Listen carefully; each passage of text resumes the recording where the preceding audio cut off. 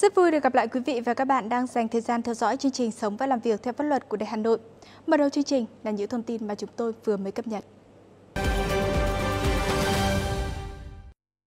Bộ Tài chính đang lấy ý kiến góp ý với dự thảo thông tư quy định về định mức chi phí nhập, chi phí xuất hàng dự trữ quốc gia do Tổng cục Dự trữ Nhà nước trực tiếp quản lý. Quy định tại thông tư này được áp dụng làm căn cứ để xây dựng dự toán và quản lý chi phí, thực hiện kế hoạch nhập xuất hàng dự trữ quốc gia từ năm ngân sách 2024. Theo đó, định mức chi phí nhập kho gạo là 258.320 đồng một tấn mỗi lần. Định mức chi phí xuất kho gạo là 248.904 đồng một tấn mỗi lần. Định mức chi phí nhập muối ăn là 252.341 đồng một tấn mỗi lần. Định mức chi phí xuất muối ăn là 278.870 đồng một tấn mỗi lần. Định mức nhập xuất xuồng DT1 là 2 195.132 đồng một chiếc mỗi lần.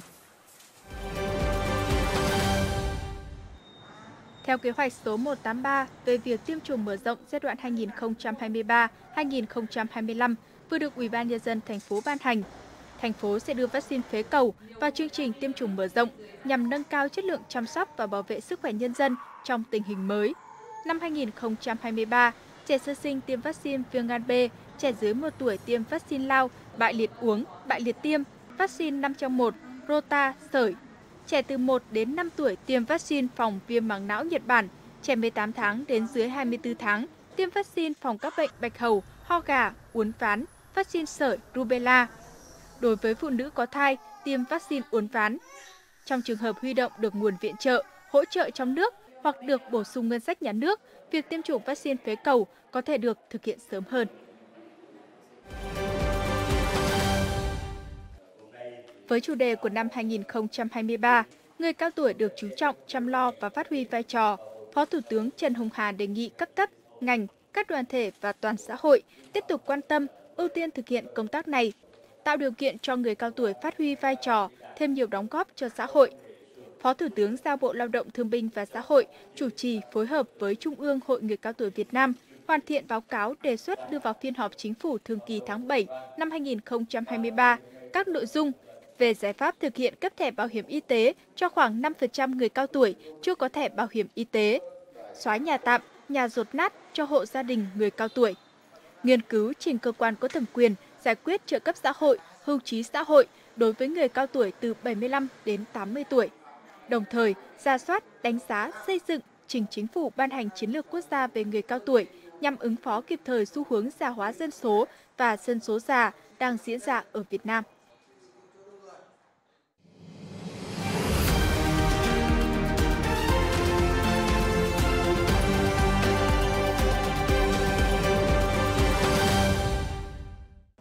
Thưa quý vị và các bạn, dự thảo nghị định quy định về bảo hiểm xã hội tai nạn lao động theo hình thức tự nguyện đối với người lao động làm việc không theo hợp đồng lao động. Bộ Lao động Thương binh và Xã hội đã đề xuất 3 chế độ bảo hiểm tai nạn lao động tự nguyện. Theo đó gồm 3 chế độ như sau. 1. Giám định mức suy giảm khả năng lao động. 2. Trợ cấp một lần, trợ cấp hàng tháng, trợ cấp phục vụ. 3. Hỗ trợ phương tiện trợ giúp sinh hoạt, dụng cụ chỉnh hình. Mức trợ cấp hàng tháng được quy định như sau. Theo dự thảo, người lao động bị suy giảm khả năng lao động từ 31% trở lên do tai nạn lao động thì được hưởng trợ cấp hàng tháng. Suy giảm 31% khả năng lao động thì được hưởng bằng 30% mức lương cơ sở, sau đó cứ suy giảm thêm 1% thì được hưởng thêm 2% mức lương cơ sở. Ngoài mức trợ cấp theo quy định trên, hàng tháng còn được hưởng thêm một khoản trợ cấp tính theo số năm đã đóng bảo hiểm tai nạn lao động tự nguyện. Từ một năm trở xuống được tính bằng 0,5% mức lương cơ sở. Sau đó cứ thêm mỗi năm đóng vào quỹ được tính thêm 0,3% mức lương cơ sở.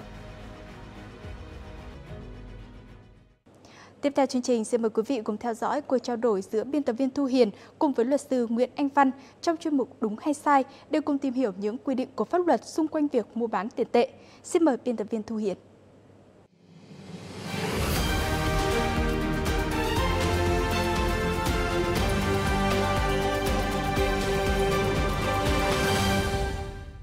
Kính thưa quý vị, tình trạng mua bán ngoại tệ tự do trên thị trường hiện nay đang diễn ra khá phổ biến. Việc làm đó có vi phạm các quy định về pháp luật hay không? Để giải đáp câu hỏi này, trong mục Đúng hay sai ngày hôm nay, chúng tôi có mời đến trường quay luật sư Nguyễn Anh Văn, giám đốc công ty luật nhân dân Đoàn luật sư thành phố Hà Nội. Xin chào biên tập viên Thu Hiền, kính chào quý vị. Và bây giờ, trước khi bắt đầu chương trình, chúng tôi mời quý vị khán giả, mời luật sư theo dõi một tình huống sau đây. Chị T có chồng đi xuất khẩu lao động tại Hàn Quốc được 6 năm nay. Theo như thông lệ, từ trước giờ, chồng chị T gửi tiền về bằng đô la Mỹ thông qua người thân và mang đi bán cho đầu mối lấy tiền Việt Nam đồng.